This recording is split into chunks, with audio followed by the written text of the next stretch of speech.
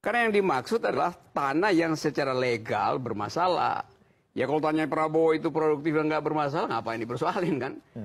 Nah coba kita perhatikan, Pak Jokowi bahkan menghafal jumlah hektar tanahnya Prabowo kan? Berarti sudah dipersiapkan. Dari awal memang dipersiapkan itu, tapi keluar di di tempat yang salah.